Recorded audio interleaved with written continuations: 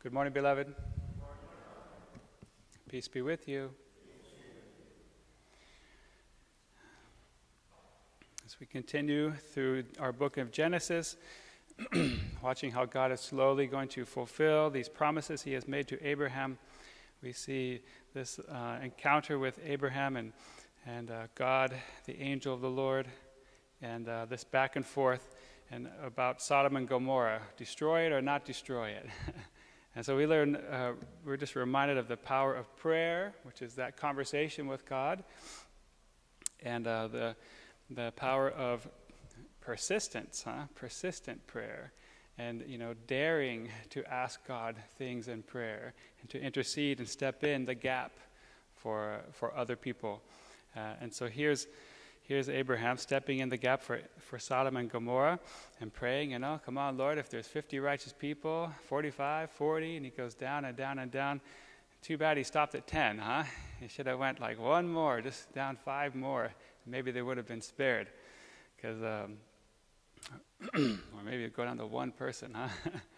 but sad to say, right? They don't even have 10 righteous people there in the city. Not even 10. And, it's, and there's a little play on words, you know, righteous, also translated sometimes upright, uprightness, you know, you're standing up, you're looking up, versus what we saw uh, with, with Cain in the beginning of Genesis, who was crestfallen. So, you know, are we crestfallen people or upright people? you know? And, and so there's a little, there's that play on words there. We're called to be upright, righteous people in right relationship with God, standing upright, proud of who we are and what we're doing, confident that we're in obedience to God's will and His plans for our life. Uh, we learn this, um, it, this is the central focus, this intercessory prayer for others. We see different parables that Jesus uses in the gospel that reflect this same teaching. Uh, there was a he talks about one time this tree that was not bearing any fruit, and how the um, you know he the gardener was begging the owner, okay, just give me a little more time. Let me just till the soil a little more, put a little more nutrients in the soil, water it some more, take care of it for a little more. Maybe next season it will grow fruit. You know, this prayer for more time, Lord, more time for righteousness to grow uh, through through personal care of someone's life. And this is a good way we can reflect and look at our, our life today, our, what's going on in our world today, our church today, and reflect, you know, what's, what's our response when we hear, when, when, when we think some place is going to hell in a handbasket, you know? Do we step in like Abraham and begin to intercede on that place's behalf? Or do we just walk away, abandon? Well, Burn it all, Lord. or like James and John, and you know, let lightning come down from heaven and consume them, Lord. that's, why, that's why Jesus called them thun- the sons of thunder, you know. How, how is our response to our world today? I know there's some people, you probably know some too, heard of them. They already moved out of California, you know. All California's done, basically. You know, they already gave up on California as far as being a righteous state, you know. This place they think is gone. It's going to be swallowed up in the ocean or something, you know. Some people, if they haven't already gone, they're already talking about it. I know a lot of young adults talking about it. They're going to go to Texas or Tennessee or whatever, some other place they feel is more conservative or traditional or still has some, some form of values. They've already given up on this place. You know, they tell me and share with me they want me to rejoice in, in this news that they might move away to a, a better place. I say, what about us? Who's going to stay here, you know?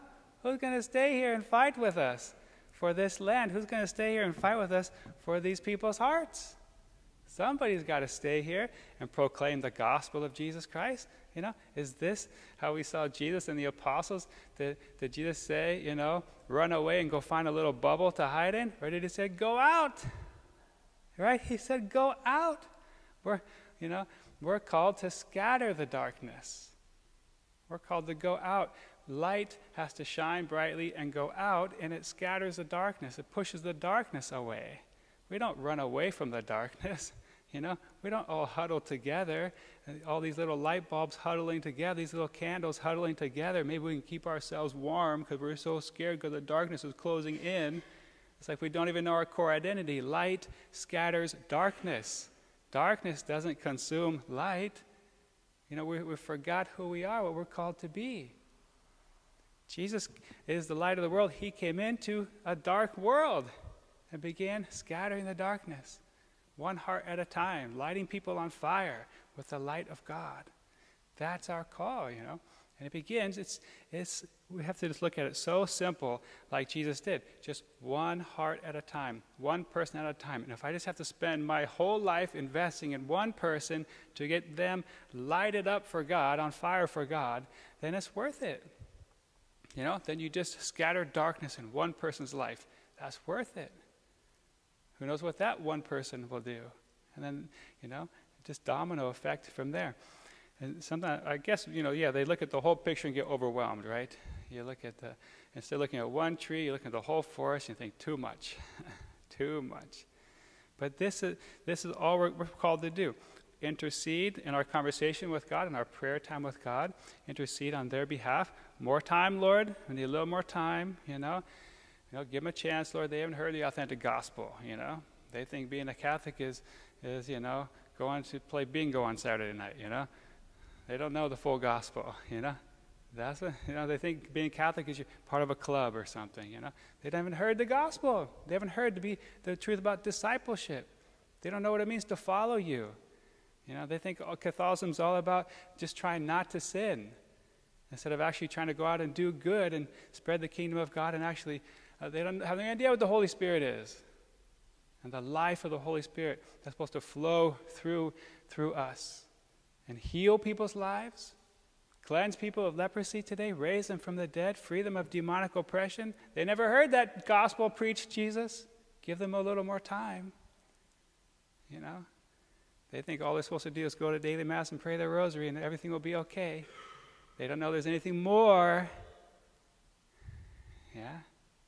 So we have to get more and the full gospel truth. Lord, give us more time to get the full gospel out there. We've been tricking ourselves. We've all been cafeteria Catholics and not realized it. we need the full gospel, Lord, the full meal, all seven courses, Lord. Everything you got. We want your whole life. Give us more time, Lord. So this has to become some of our prayer. You know, oh Lord, I'm sick of the, the president, or I'm sick of the pope, I'm sick of the bishop, or I'm sick of this. Okay, well, stop. Okay, now take a breath. And I'll start praying for that person. Yeah? Lord, give them a little more time. Somehow they haven't heard the full gospel truth. Somehow they need a deeper conversion. Somehow they need more of your peace or healing in their life. Lord, you know, teach them, Lord. Help them, Lord. Give them encounters with you, Lord. You know, the risen Jesus Christ can appear to them and change everything like he did with Paul. Lord, bring appear to him, Lord. You know, how much time are we spending you know, upset and frustrated versus how much time we're redirecting all that energy for intercessory prayer. And try to wear God out. More time, Lord. More time, Lord. More time.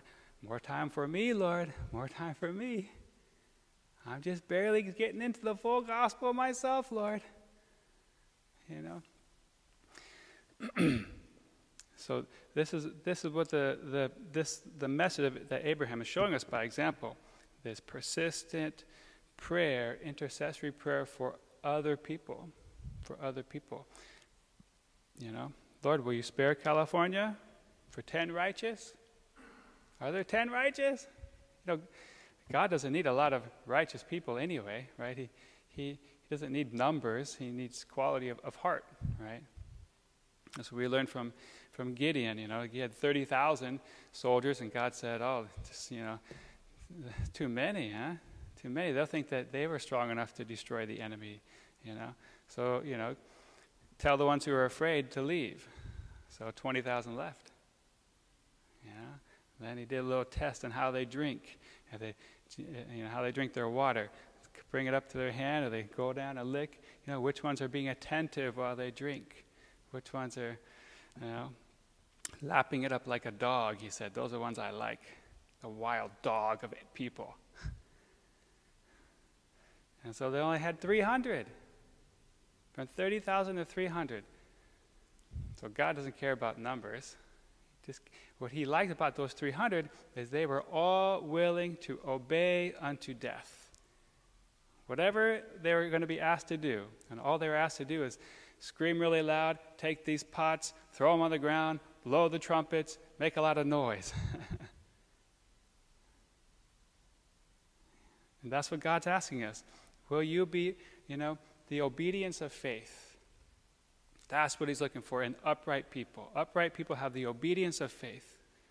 If God stirs in your heart to go and talk to somebody and pray for them, to speak a word into their life that will build them up, or to pray for them for healing, to pray for somebody to be raised from the dead, will you obey that prompting inside you? Do you have obedience of faith? Or is that out of your comfort zone? Is that for somebody else who's more charismatic? Or is that for basic disciples of Jesus Christ? what is it that's holding you back from being all in or for God? What is it that God may be asking you to get out of your comfort zone and step out into the darkness to scatter it? What's He asking you to do? It always begins with prayer time, daily prayer time, so we're filled up with the life of God. If you're able, daily Mass, you see the Eucharist, get filled up with the life of God. But now that you're filled up, you've got to go. Freely you have received, freely you must give, as Jesus says in the Gospel. So, how are you going to, that life of God you're filled up with, how are you going to go pour that into somebody else's life? How are you going to get out of your bubble, comfort zone bubble? How are you going to step into the darkness today and this week and start to scatter it with the life and the light and the truth of God? Every one of us have a part. This is the place we come, the safe place where we get filled up. And then we're sent out there. So, Father, we just thank you so much for your truth and your life within us, especially with your Holy Spirit in us, with Jesus in us, especially in the Eucharist and all the sacraments. We pray, Lord, you just continue to stir us up inside, Lord, with your Holy Spirit. As you fill us up with your grace in this Mass and in the Eucharist, fill us up in our prayer times, we ask you, Lord, to show us very show us clearly how to take a step out into the darkness, Lord so we can so, so you can scatter the darkness through our life. Just one step at a time one heart at a time one person at a time one blessing at a time lord. Help us to bless more than the darkness is cursing. We pray this together in jesus name. Amen